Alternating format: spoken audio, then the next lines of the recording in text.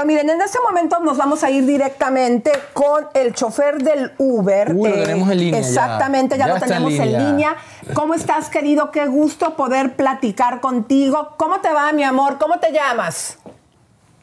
Buenas tardes, mi nombre es Gerardo de BC Cabrera para servirles. Saludos, Gerardo. Gerardo, muchas gracias por haber eh, accedido a dar la primera entrevista aquí en Chisme No Like. Mira, Gerardo, nosotros pasamos el video que publicó Adriana Fonseca, pero también hace cinco años, nosotros, no sé si te diste cuenta que pasamos otro video de otra situación que ella tuvo aquí en un casting que también llora y pone al público. Nos gustaría muchísimo que nos contaras desde que ella pide el Uber, qué fue lo que sucedió. Se fue. Ay, se Ah, fue. Si ustedes ven que no lo podemos tener en imagen, estaría bien que pongan una foto de él y que lo tengamos vía telefónica, chicos. Bueno, eh, vamos a poner mientras en lo que tratamos de conectarlo el recap de lo que sucedió en ese momento. Primero van a ver el video que Chisme No Like sacó de hace cinco años cuando ella tiene un incidente aquí en Los Ángeles en un casting que hace donde también se pone a llorar y pone as- en sus redes sociales al público y luego van a ver el incidente que tuvo con Gerardo. Adelante. Hola, les quiero contar algo que me acaba de pasar. Y no por hacerme la víctima, sino porque no puedo creer que estas cosas estén pasando. Vengo saliendo, vengo saliendo de un casting y tenía algunas líneas en inglés. Eh, el casting era para un comercial y el señor que estaba en la cámara me pidió que dijera mi nombre. Dije mi nombre y como mi nombre, ustedes saben, es español, eh, lo traté de decir americano. Eh, el tipo me sacó del cuarto de una manera muy humillante. No puedo creer que en estos tiempos, creer que estemos viviendo racismo tan fuerte en estas épocas. Amiga, no, No sé qué hacer. Ayúdame con esta persona, amiga. Amiga, ven. Acabo de colgar con ustedes. Amiguito, échame la mano. Este, Amiga. y, y vengo con un señor que está Ay, loco. vengo patrulla, no viene una persona Este- no se quiere bajar del coche. Me está, me- o sea, Viene es un loqueando. loco, señor. Este, voy, a, voy arriba del carro, voy en el segundo piso. Me recogió una cuadra más adelante, me viene gritando, venía casi chocando. No, no, no, A él, cuando le dije que le bajara, me dijo que, que bajara mi pie de un, de un lugar donde traes el carro Viene- asqueroso lleno de Ah, pasos. mi coche está asqueroso. Me viene gritando. Ah, ok, ok, ok, ok. Ok, ok. Gracias. Racismo. Gracias. Racismo, dice que soy racista. Le dije que soy Adriana Sí, Fonseca, sí, que por favor, y me dice soy que le Iztapalapa Cabrera y que soy soy racista. de Uber Vengo soy con un persona, perrito y me dice eres que. una clasista Sí, y racista. gracias. Al perrito no se le ha hecho nada, está hermoso, déjamelo si quieres. Tú eres la desagradable. Estoy en el viaducto. Qué desagradable persona, ¿eh? Viene pisando todo, haciendo lo que quiere. Eh, por bajar del segundo piso. Estoy buscando donde, donde me pueda yo bajar. No me puedo yo bajar aquí en el segundo piso. Traigo un montón de cosas. Sí. Eh, estoy estoy por, por, por salir del, del segundo piso. Bueno, mis queridas comadres, en este momento tenemos en vía telefónica para que no se nos vaya a cortar la comunicación a Gerardo. Es el chofer del Uber quien nos va a contar, por favor, mi querido Gerardo, exactamente qué pasó desde que la fuiste a recoger a Adriana Fonseca. Sí, pues lo que sucedió es que el, pues la aplicación no te da, a veces te da un punto y a veces las personas están en otro punto. Y ella eh, estaba en como una casa más atrás y yo me empecé a, a hacer para atrás y vi que estaba caminando y pues ya se subió y desde que entró como que se molestó un poco de que no la recogí en el punto exacto y le expliqué que a veces sucede eso. Pero a ver, Eh. ella dice que tenía, danos todos los detalles, ella dice que se subió con el perrito y que traía muchas cosas. ¿Qué cosas traía? Pues traía un perrito, traía bolsas de Liverpool, yo creo que acababa de ir de compras o las había comprado antes, pero traía así un montón de bolsas de Liverpool y al perrito. O sea que es Y verdad yo, que ella venía muy cargada. ¿Y luego qué sucedió? ¿Por qué empezó la mala onda entre los dos? No, realmente, la mala onda comenzó porque eh, bajando yo de la Jusco, de donde la recogí, eh, para agarrar el periférico aquí en la ci- Ciudad de México, pues eh, tienes que agarrar un retorno. Y yo ese retorno, eh, pues lo iba a agarrar, pero como no traía el tag para subir al segundo piso, que lo cobran, eh, o más bien sí, sí lo traía, pero estaba abajo de, de mi asiento, no lo encontraba. Entonces le dije que iba a agarrar otra ruta y como que de ahí se molestó. Ya encontré el tag y cuando encontré el tag, eh, ah bueno, antes de encontrar el tag, cuando le estaba yo diciendo lo de que iba a agarrar otra ruta, ella se entercó, o sea, le expliqué como cuatro veces que, que no encontraba el tag y que por eso iba a tomar otra ruta que nada más nos iba a aumentar un minuto o dos, como que se molestó. Y, y en eso que estábamos intercambiando eh, esa comunicación, vi que ella tenía su pie sobre el posavasos, sobre la parte de, del, del medio.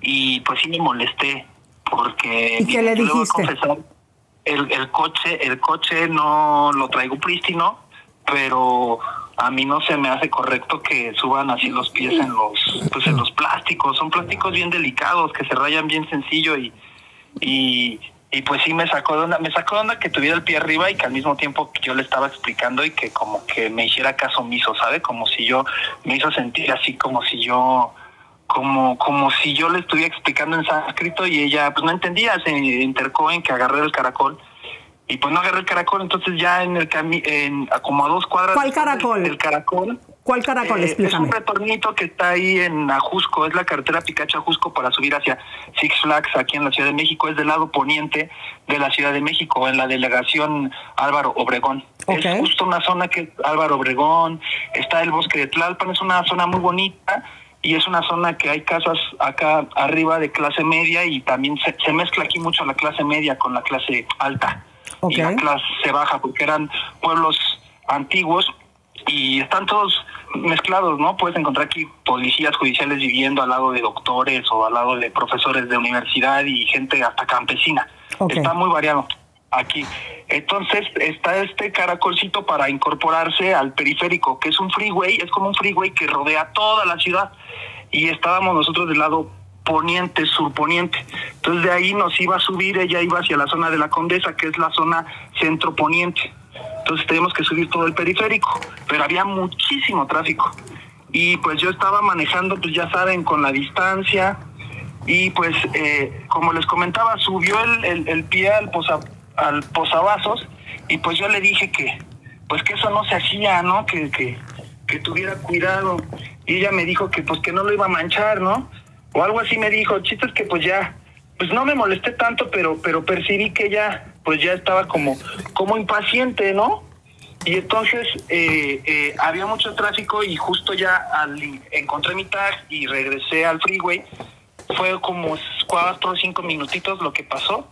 Y ya incorporándome al, al periférico, metiéndome de carriles laterales a- adentro, Sí, pues que había venga, mucho tráfico, tanto en el carril lateral como el carril central. Entonces ya entrando al carril central, pues estaban los coches, los son cuatro carriles, me parece, llenos los cuatro. Y justo en el carril de alta, yo estaba, haga de cuenta que estaba del lado derecho y el carril de alta pues está del lado izquierdo. El carril de alta venía vacío. Volteé hacia mi izquierda para ver si no venían coches y no venían coches. Entonces pisé el acelerador de una forma pues eh, súbita para incorporarme rápidamente al de alta sin pues sin peligrar de que llegara un coche y ya ve que aquí en la Ciudad de México casi no son groseros al manejar. No sé si ya tienen la oportunidad de estar aquí en la Ciudad de México pero está muy desregulado. Todo el mundo maneja como quiere no ponen luces de intermitentes. Es un poco un caos Eh, entonces, pues ya me pasé al carril de alta y estando en el carril de alta me dice, oye, cuidado que me vas a matar. Y le digo, ¿cómo? Si hay un montón de tráfico, no puedo acelerar tanto. Me dice, ¿cómo no estás jaloneando el coche y estás rebasando?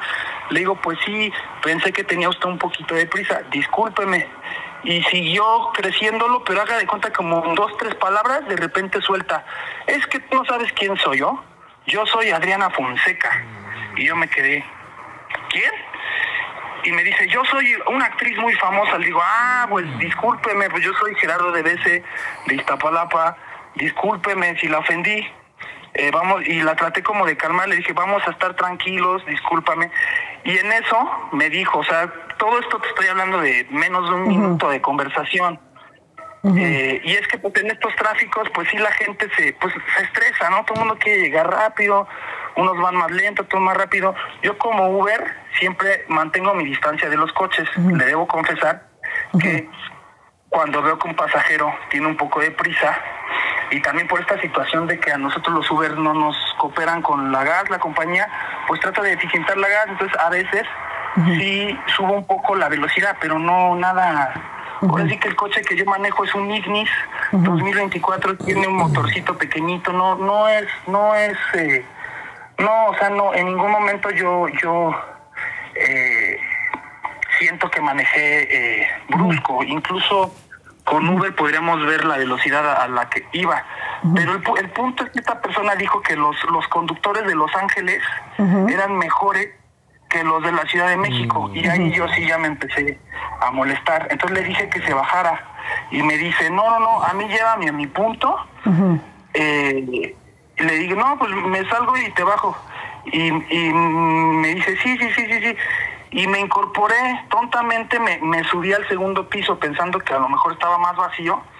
Y no, hombre, estaba igual de lleno. Entonces todo el viaje estuvo grabando, empezó a grabar, o sea, nos calentamos los dos, pero ella yo siento que traía la agenda, como ustedes dicen, de pues buscar eh, el chisme, no el chisme barato. Y yo creo que ya no le deberían de hacer caso. Esta persona pues tiene mucho que no hace nada de relevancia y se ve que evidentemente pues nada más está buscando a quien ofende para que le hagan la fiesta.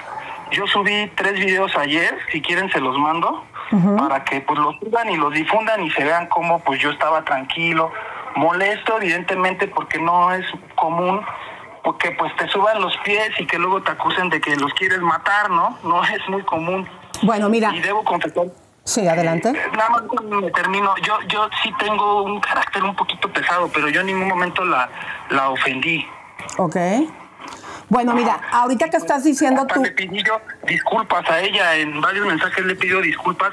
Ella en un video me manda hasta bendiciones y luego sacó este comunicado donde dice que, que yo la amenacé de que iba a ir a su casa. Eso es una rotunda mentira. Yo tengo el último video de nuestra última interacción justo cuando se baja del coche donde ella golpea la puerta de mi coche. Yo estacioné el coche y me bajé y le dije que eso no se hacía, que era de gente mala lo que estaba haciendo y que tratara bien a la gente. Y me volví a subir al coche. En ningún momento yo le dije nada. Obviamente me bajé porque te, te, digo, o sea, eh, la compañía, pues no nos, como es privado, pues uno tiene que pagar sus una, la pintada de una puerta está entre seis mil y Cuando termine. pesos. Entonces, sí me espantó que me rayara la puerta. Ah, y me mentó la madre también. Está en video. Ok, mira. Cuando baja la puerta, se baja y me mienta la madre. Yo en ningún momento le dije a ella ninguna palabra altisonante. Mira, querido. Pues sí. Eh, vamos a... que diga ella que que mi que mi que pues que yo la quería amenazar porque ahí ya se está metiendo con mi integridad si bien no ha dado mi nombre o sea, eh, está claramente tratando de intimidar a Uber por el lado de la de la Vox Populi para que me corran. Y no se me hace justo. Uber ya me habló y me dijo que me tranquilice, que todo está bien. Yo apreté un botón, ella no se dio cuenta, creo que hasta se lo comenté, pero ni se dio cuenta. Yo apreté un botón que tiene la aplicación donde se graba todo, todo el audio. Entonces, Uber ya sabe, yo creo que ya oyeron el audio y ya saben que me mentó la madre, ya saben todo lo que hizo y todo lo que dijo. Mm. Esto es muy interesante lo del botón eh, que dices, pero bueno, mira, yo como eh, escuchándote y con mucho respeto, Jera, veo pues que ya la cosa empezó mal desde que ella se sube enojada porque no... Enojada. No claro, es que cuando uno se enoja y este y yo también perdí el taco, o sea, fue como un malentendido, pero a mí sí se me hace muy exagerado. Eh, si alguien está acelerando, no nos gusta cómo conduce, se dice, oye papi, bájale, tranquilo. Eh, pero así de entrada, decir, me vas a matar, y les digo, en el video hasta se ve cómo está el tráfico, ese tráfico que se ve arriba del segundo piso estaba todo a lo largo de todo el periférico. O sea, no hay, no hay manera de que yo la mate, a lo mejor sí puedo rayar mi coche por manejar imprudente, pero no había manera de que la matara. O sea, sí se me hizo se me hizo que estaba buscando pues el show y yo también desgraciadamente yo pues yo caí traté traté de, de, desescalarlo pero pues también es difícil no cuando está uno encerrado en un espacio con alguien y sobre todo pues uno que está abocado a dar un servicio a nosotros los Uber nos califican absolutamente todo incluso por cinco o seis malas calificaciones te pueden bajar muchos puntos y hasta suspender. A mí afortunadamente nunca me han suspendido, pero, pero pues sí, sí se me hace muy, muy mala onda que haya gente eh, en los Ubers que no se sensibiliza y no piensa que la gente que ofrece servicios públicos que está de, de obrera, pues no ganamos gr- gran cosa. Yo, yo sí siento que me clasistió porque pues es una persona que ha hecho un montón de eh, telenovelas, de películas, fue creo que hasta novia de Luis Miguel, y yo pues a, a duras penas hago mil pesos diarios, ¿sabes? No es mucho. Esta persona te apuesto que ha de ser tres, cuatro veces lo que yo y no se vale que, que se suban así con prepotencia y que se agarren de, de, de, la violencia hacia la mujer que es real para generar un, un show. Bueno, mira, eh, yo quiero que me escuches esta parte que te voy a comentar, mi querido Gerardo. Eh, yo creo que ella pues ya se subió molesta desde que eh, nos dices tú que estaba, eh, que, la, re- que tu- te tuviste que echar en reversa y que ella tuvo que caminar con tanta bolsa y con el perrito. Lo que sí es Pero real... Te juro que no, no caminó más de 20 pasos, ¿eh? No te creas que caminó demasiado. Y yo me eché de, de reversa. En cuanto se subió, yo le pedí disculpas. Ok. ¿Sabes? Y ella, sí, ella yo creo que ya traía plan. Yo creo que hasta traía ya plan desde antes. Bueno, entonces aquí lo, lo que yo quiero terminar de decir, eh, Jera, si me permites, es que también se ve por lo que estás tú mismo narrando, que ella se asustó cuando ve que tú tomas otra nota porque no encontrabas el pase para subir al... Exactamente. Pero, pero no tiene de qué espantarse, porque mira, ella es de Veracruz. Ella no creo que sea la primera vez que está en la Ciudad de México. Ella muy bien sabe y yo le informé, pues, pues, eh, para ir a la, a la, a la Roma hay, de donde estábamos hay dos caminos básicamente, por periférico y por bajando por el Pedregal, que es la zona que yo agarré, que de hecho es más rápido por el Pedregal y agarrando todo eh, patriotismo o revolución. Eh, y, y son de hecho es más es más directo pero había más coches. Entonces por eso me, me estaba mandando a- al segundo piso. Aunque el segundo piso pues también estaba lleno. Lo que pasa es que el güey también tiene luego errores y la gente luego no ve eso. Pero sí no yo yo, yo la verdad sí creo que es una persona que pues que me clasició me resistió. No es no es muy común en esta ciudad de México Digo, mi coche no es un coche ostentoso, es un Ignis, pero tampoco es un coche pues pues barato. Y yo sí he notado que mucha gente como que le molesta, le impresiona que una persona morena tenga un coche bonito y más si lo está trabajando uno de Uber, como que les molesta. Hay gente que se molesta y yo, como podrás escuchar, mi acento no es precisamente una persona de barrio. Yo me eduqué más en escuelas privadas y traigo ese acentillo como medio fresa, ¿no? A pesar de que sí soy gente humilde, mis papás se esmeraron un poquito para mandarme a buenos colegios, no creo que me haya servido de mucho, estoy de Uber, pero pero pues aquí estamos y, y, y, y sí hay gente que pues que, que me busca pelea, ¿eh? De pronto. Jera, mira, voy a poner en este momento, porque... eh, Son todos, ¿eh? Sí, sí. Jera, mira, eh, por lo que entendemos, digo, tú también eres de armas tomar. Vamos a poner un video donde a mí me sorprendió muchísimo que te envalentonas con un policía. Vamos a ponerlo y ahorita, ahorita ve el video y ahorita lo comentamos. Eh, ¿Puedes poner el video, por favor? No, lo puedo sancionar estás porque no obligado. está cometiendo una infracción. Estás obligado a dar ¿Quieres que yo servicio. infraccione un Y tú tienes que hacer tu chamba. ¿Por qué pateas el coche? ¿Por qué pateas el coche?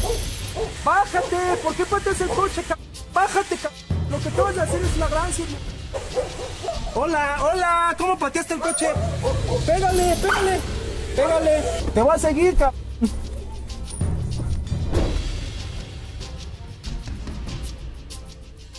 Bueno, en ese video, eh, Gerardo, eh, a mí me sorprendió muchísimo que tú te bajas, te peleas con el policía, el policía está en el carro y tú todavía te le pones enfrente del carro.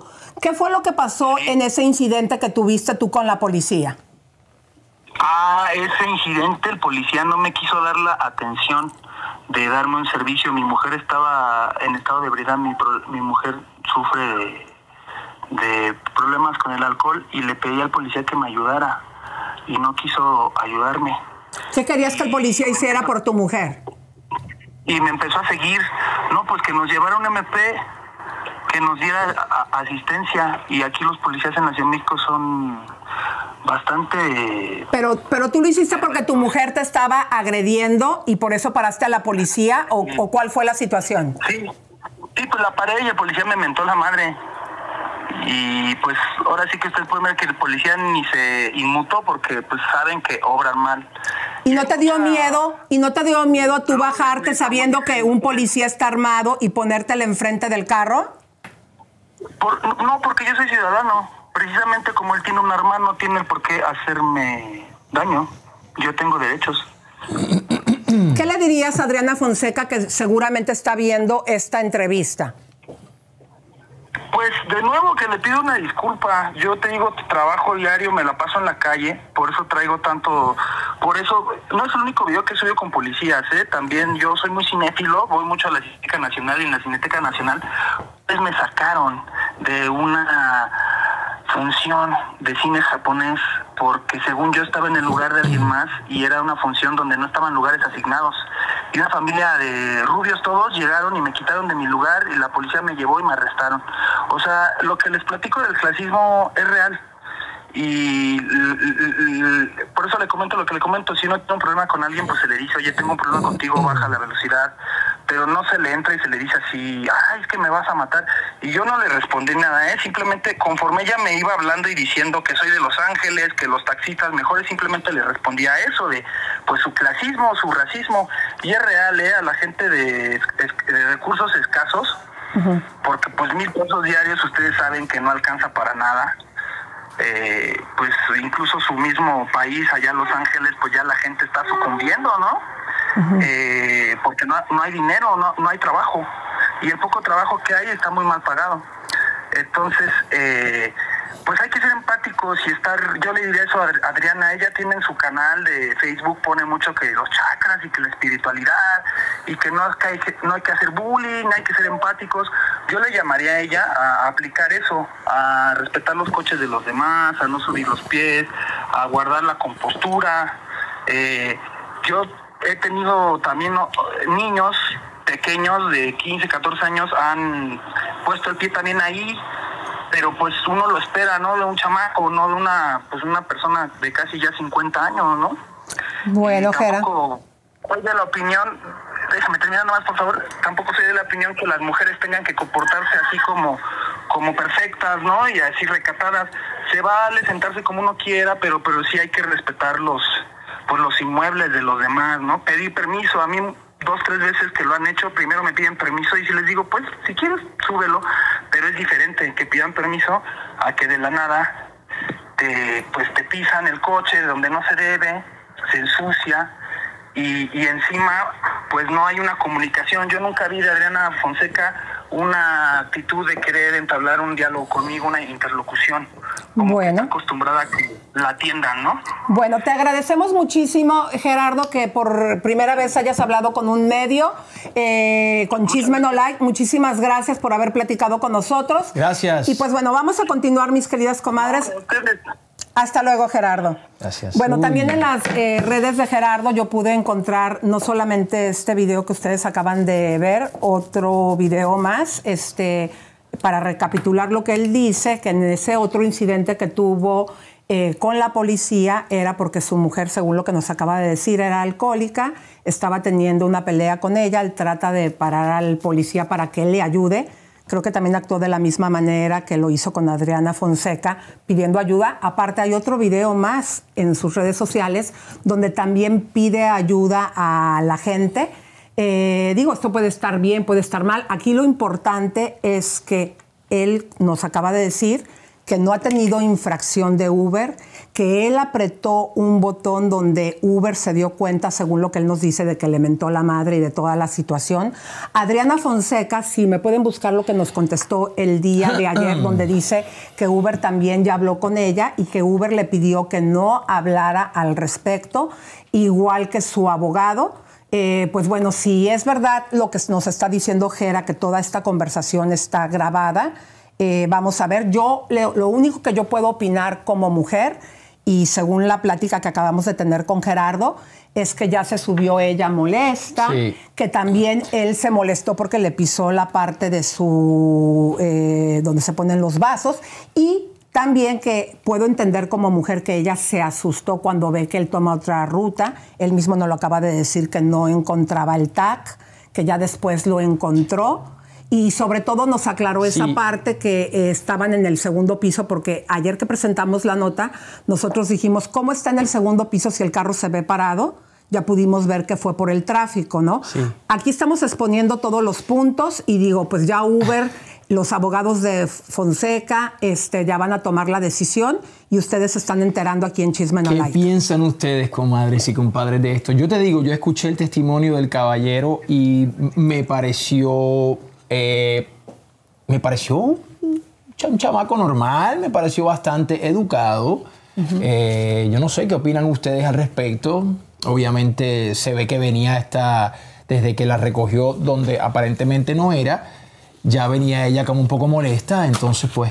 A mí qué me- triste que haya pasado esto, no sé, a mí el chamaco me pareció, me pareció bien, me pareció A mí me dio eh, eh, la inquietud de empezar a investigar este caso porque como tú sabes, nosotros no nada más nos colgamos en las noticias que salen, investigamos. Y sí me llamó mucho la atención y por eso les puse el video que quiero que lo volvamos a poner con el audio, donde el, el video, el que acabas de poner, mi reina, ¿para qué? Para que ustedes vean cómo él ya había tenido un incidente eh, y a mí me sorprendió muchísimo eh, la información que ahorita nos dio, ¿no? De que era porque su esposa venía pues tomada y él se para a pedir ayuda de la policía y al no tener ayuda de la policía también le empieza a hacer pleito a la policía, cuando en México todos sabemos, pues digo, en el caso de Ocaña, Octavio Ocaña, que la policía a veces puede llegar a ser violenta. Ajá, Adelante. Yo no, puedo estás sancionar porque no, está cometiendo una infracción. Estás obligado a ¿Tú dar Y tú tienes que hacer tu chamba. ¿Por qué pateas el coche? ¿Por qué pateas el coche? Bájate, ¿por qué pateas el coche? Bájate, lo que te vas a hacer es una gran. Hola, hola, ¿cómo pateaste el coche? Pégale, pégale, pégale. Te voy a seguir, ca-